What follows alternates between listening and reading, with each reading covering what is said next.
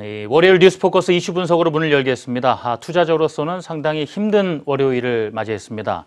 아, 미국의 터키 제재가 본격적으로 진행되자 아, 리라화가 급락하면서 신흥국 시장의 불안감도 팽배해졌습니다.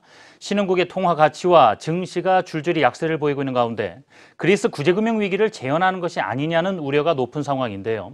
앞으로 이 시장이 어디로 흘러갈지 방서우 기자가 취재했습니다. 터키 리라화가 장중 22%까지 급락하자 신흥국 통화는 동반 약세를 보였습니다. 이에 신흥국 증시에서는 공포에 휩싸인 투자자들이 매도에 나서면서 주요 주가 지수가 일제히 1% 이상 빠졌습니다.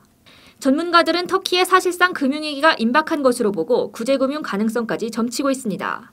사실 통화치가 10% 20% 떨어진다는 것은 어, 거의 금융위기 상황으로 봐야 할 것 같은데요. 어, 터키 리라와의 폭락세는 유럽 은행들에게도 우려가 커지면서 안전자산인 미국채 매수가 몰리면서 리라의 가치가 안정을 찾을 수 있을지는 좀 지켜볼 필요가 있겠습니다.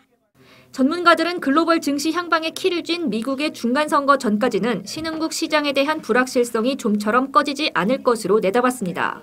그렇지 않아도 미중 무역 분쟁 등으로 달러화 강세가 이어지고 있는 상황에서 미국의 일방주의 노선 강화로 인한 신흥국 불안 요소가 더욱 증대되고 있다는 겁니다.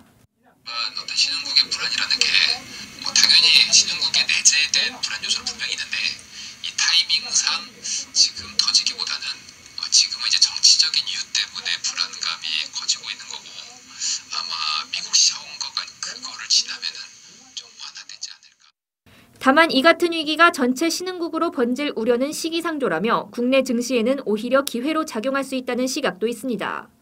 터키를 비롯해 카자흐스탄, 이란 등 외환 유동성이 취약하면서도 미국과 갈등을 빚고 있는 국가들의 금융 불안은 피할 수 없지만 신흥국 중에서도 대외 건전성이 가장 양호한 수준인 한국은 오히려 외국인 자금 유출이 제한적일 수 있다는 겁니다. 곽현수 신한금융투자연구원은 유럽은행의 터키 대출 규모는 1,200달러 내외로 제한적이라며 그리스 사태 당시의 3분의 1에 불과한 만큼 위기 확산 가능성은 낮다고 말했습니다. 한국경제TV 방서우입니다.